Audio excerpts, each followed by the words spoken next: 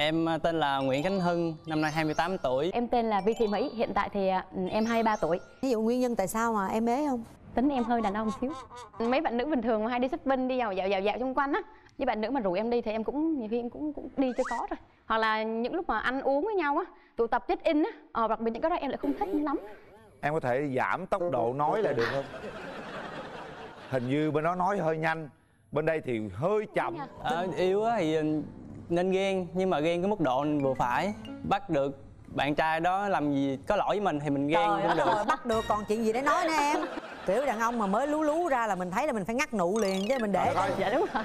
bắt gặp phải bắt gặp vô khách sạn hay bắt gặp mà, mà chở nhau đi xà nẹo rồi còn cái gì nữa lúc đó về thì chia tay luôn chứ còn ghen chi nữa nghĩ sao đàn ông mà em đòi ngắt nụ ngắt nụ Em tên là Nguyễn Thị Tâm ạ. Em tên là Nguyễn Thành Luân, năm nay em 31 tuổi. Mạnh thì anh là người hòa đồng, vui vẻ. Anh có thể làm à, những công việc nhà như là nấu ăn, giặt lũ, dọn dẹp nhà cửa. Vâng ạ. Điểm yếu là khá mù đường ạ. Hay khóc ạ. Hay khóc. khóc vì lý do gì Nhưng mà xem một bộ phim gì mà tình cảm hoặc là cảm động một tí À. là khóc giống chị. à, kiểu như bữa nay mà không được bấm nút là khóc đó Chắc là vậy. Nếu vậy đi xem phim mình à, sẽ xem phim hành động nha. Không. Tình cảm đi.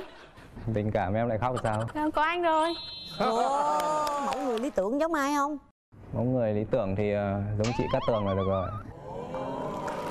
phụ lục hợp đồng tình yêu nghĩa vụ người bạn trai điều một bạn gái luôn luôn đúng điều hai luôn dành thời gian để hẹn hò với bạn gái điều ba luôn luôn quan tâm đến cảm xúc của bạn gái điều bốn xuất hiện ngay lập tức khi bạn gái cần điều năm không bao giờ được quên ngày kỷ niệm và luôn tặng quà cho bạn gái vào những ngày này, dù quà lớn hay quà nhỏ có còn hơn không.